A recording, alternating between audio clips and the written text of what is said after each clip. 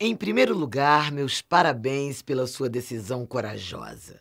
Candidatar-se à Câmara ou à Prefeitura de um município é um grande desafio e impõe responsabilidade.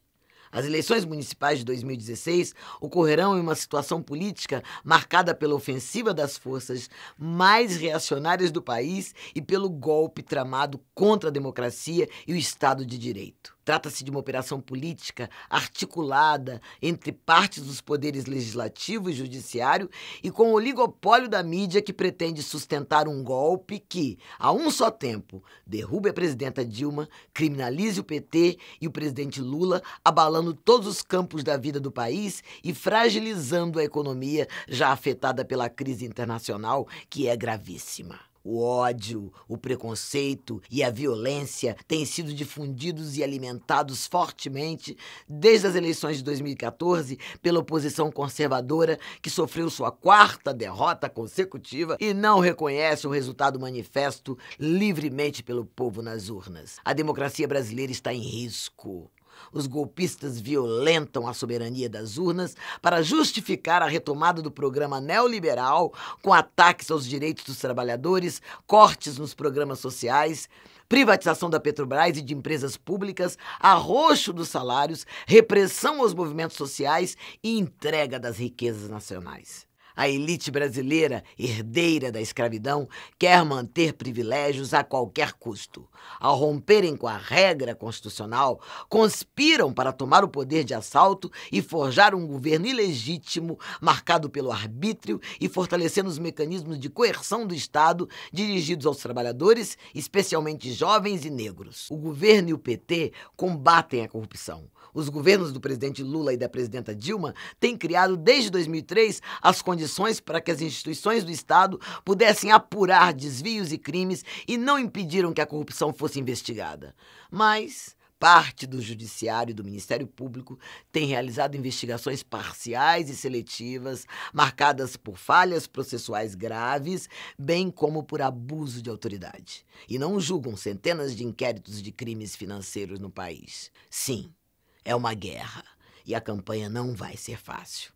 Mas nós não vamos nos intimidar. A campanha será uma valiosa oportunidade de combater o golpe, defender o PT, a democracia, a soberania do povo e o nosso projeto nacional, articulado com o desenvolvimento das regiões e das cidades, orientado pela justiça social e garantia da liberdade. O Brasil de hoje tem outra cara trabalhador no poder, mulher no poder, pobres, negros e negras cursando a universidade, formando-se advogados, médicos, professores, e isso é o resultado da ação do PT que você vai representar na campanha, na Câmara e na Prefeitura.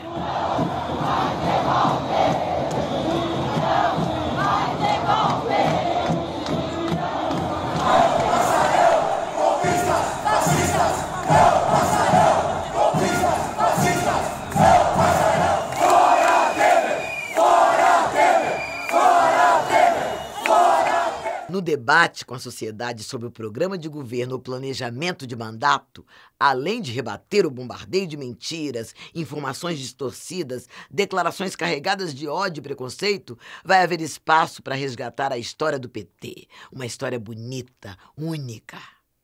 O PT é a primeira grande experiência da política brasileira uh, de um partido criado uh, pelos trabalhadores dirigido pelos trabalhadores, que teve a participação ampla do movimento social brasileiro, que teve a participação ampla das comunidades de base da Igreja Católica, que teve a participação, sabe, de uma parte da esquerda brasileira que lutou tanto nos anos 60 e 70 para democratizar esse país, de uma boa parte dos intelectuais. Na verdade, o que nós fizemos foi acreditar na classe trabalhadora e fazer com que ela ascendesse sabe, politicamente. Ou seja, então nós passamos a, a ter um partido diferente.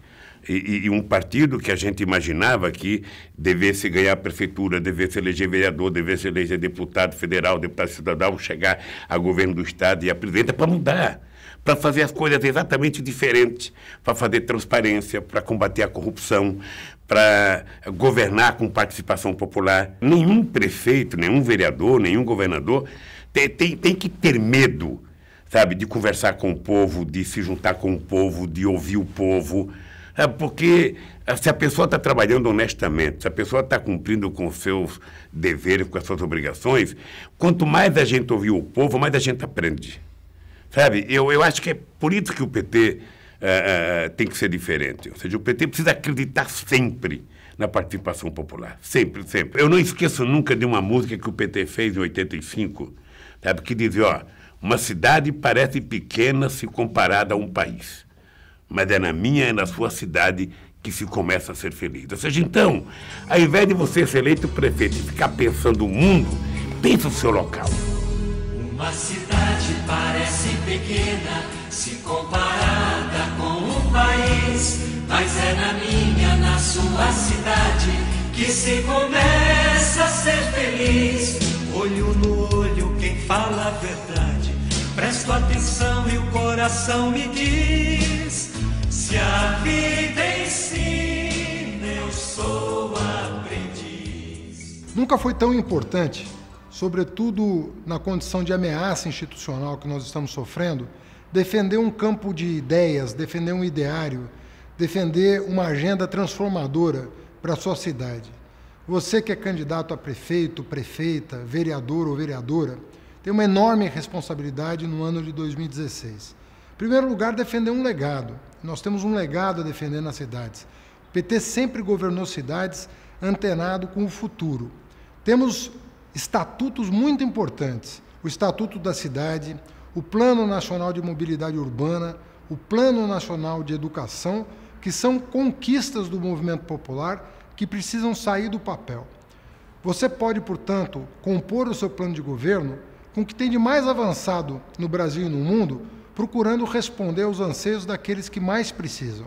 A sociedade em geral precisa ser atendida, mas o PT sempre teve um olhar diferenciado para aqueles que mais precisam da atuação, da intervenção do poder público para superar o quadro de desigualdade que ainda impera no nosso país.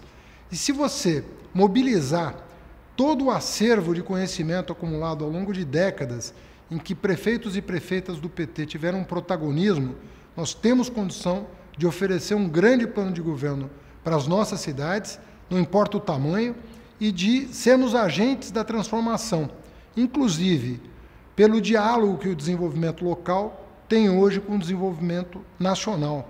Você pode ser, inclusive, um agente que vai, pela sua ação, permitir ao país superar essa condição de recessão que nós estamos vivendo. Há muito que ser feito nas nossas cidades e o PT tem uma enorme contribuição para os governos locais. É nossa estrela, é nossa cidade. Chegou a hora de ser feliz. Se a vida ensina, eu sou aprendiz.